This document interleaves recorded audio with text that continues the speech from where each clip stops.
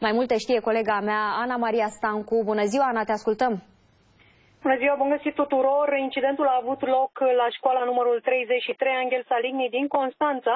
Astăzi, după amiază, mai exact în jurul orei 14, polițiștii din cadrul municipiului Constanța de la secția 5 au fost sesizați de directorul acestei instituții de învățământ despre faptul că un elev în vârstă de 7 ani ar fi introdus în unitatea de învățământ o armă. Patrula mixtă care a ajuns la fața locului a confirmat faptul că minorul ar fi introdus în unitate ieri în jurul orei 17 arma cu lunetă de tip airsoft, o armă neletală și nesupusă autorizării, iar aceasta ar fi fost ridicată de un cadru didactic. Nu a folosit arma în niciun fel, a fost descoperită la timp asupra acestuia, iar cercetările sunt în curs. În acest moment se fac verificări în instituția de învățământ, iar din primele verificări se pare că arma aceasta ar aparține chiar tatălui copilului și nu se știe cum a fost sustrasă din casă sau din locul în care acesta o ține mea depozitată.